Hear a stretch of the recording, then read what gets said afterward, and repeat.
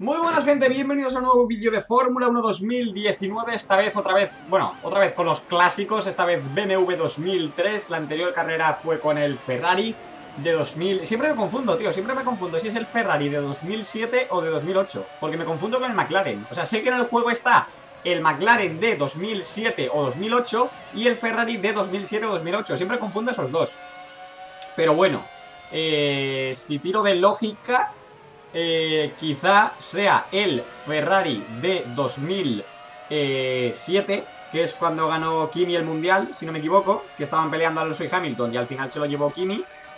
Y el, McLaren de 2008, que fue cuando ganó Hamilton el Mundial. En la última curva a Timo Glock, ¿no? Tendría sentido que fuera el Ferrari de 2007 y el McLaren de 2008, la verdad. Más sentido que fuera al revés, ¿no? Que el Ferrari de 2007 2008 y el McLaren de 2007 pero no lo sé. Bueno, da igual, al lío. En este vídeo dije que íbamos a hablar de volantes y vamos a ello. Volantes. Me gusta, no me gusta, los he probado, no los he probado, tengo, no tengo, por qué no tengo, por qué tengo, por qué dejo de tener o de no tener. Sencillo. Eh, cuestan mucho dinero.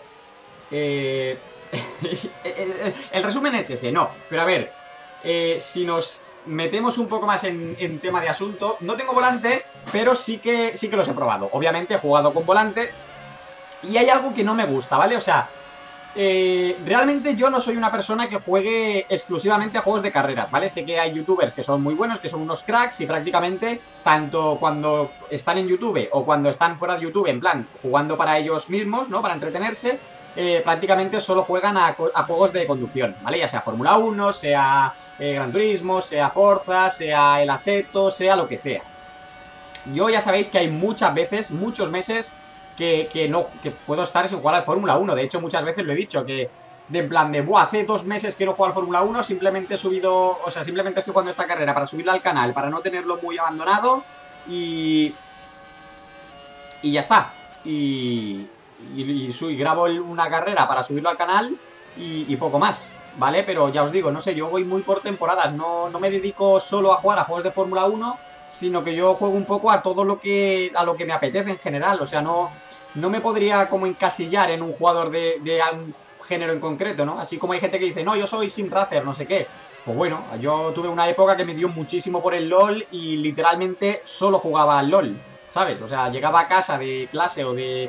Bueno, sí, en esa época de clase y solo jugaba al LOL, tío. O sea, no, no, no tocaba otro juego, ni siquiera Fórmula 1 ni, ni, nada, era exclusivamente LOL.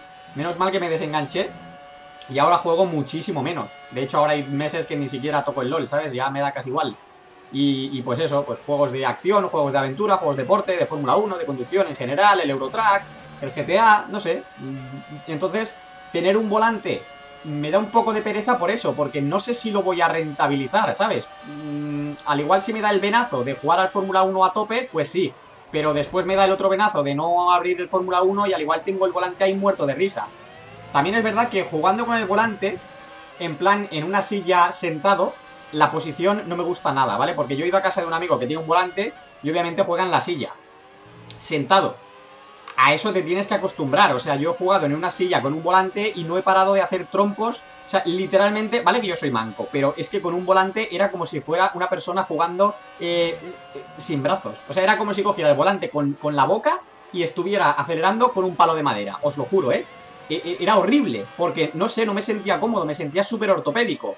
Sin embargo, después, los volantes que he probado en, en o sea, en tema de, por ejemplo, en la DreamHack, ¿no? O en eventos de videojuegos que sí que tienen su, su asiento, su cockpit, por, así decirlo. O sea, que no estás sentado en tu silla de casa, ¿sabes? Sino que tienes un asiento en plan... Eh, competición, por así decirlo, ¿no? Pues, pues lo típico, que estás inclinado, ¿no? Que estás como tumbado en la posición como, como, va un piloto de Fórmula 1. Y eh, de esa forma sí que, sí que lo he disfrutado. O sea, de esa forma es como que sí que sé jugar, ¿no? Es que, es que es raro, tío, ya os digo.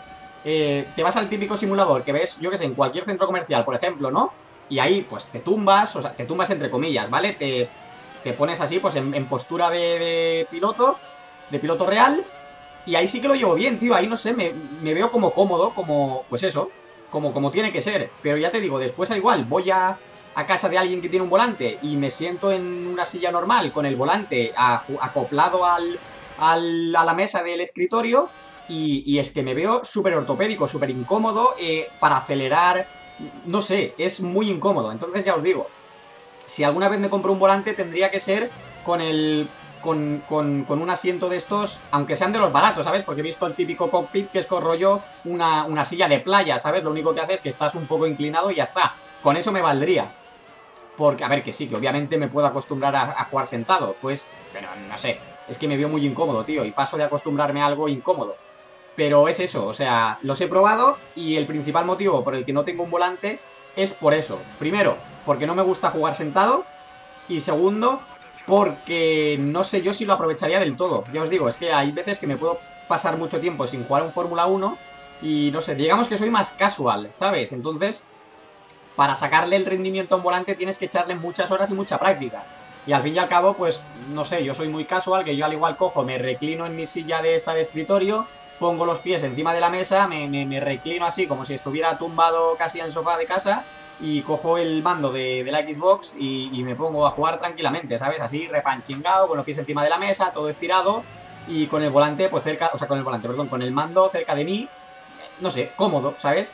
Y esto con el volante no lo puedes hacer. Con el volante, aparte de que te tienes que sentar súper recto y súper tieso, que ya os he dicho que no me gusta, pero bueno, en el otro caso sería, pues eso, montar aquí el cockpit de estos plegables, ¿vale? Porque los no plegables valen un ojo de la cara y ocupan un huevo, que eso sí que no podría porque no tengo espacio aquí. Y, y entonces sería uno de esos cutres baratos plegables. Que bueno, que sí, que son cutres, son baratos y son plegables lo que os he dicho, pero por lo menos ya no estás tan tieso sentado. Que eso es a mí lo que me molesta un montón, es la postura esa tan ortopédica, tan, tan incómoda que, se tiene. Entonces es, ese es el principal motivo que siempre me preguntáis. ¿Por qué no tienes? Pues por eso, porque no sé, no creo que lo vaya a aprovechar. Y, el poco rato que he jugado de vez en cuando eh, estoy muy incómodo si no estoy en una postura más o menos de simulación, por así decirlo.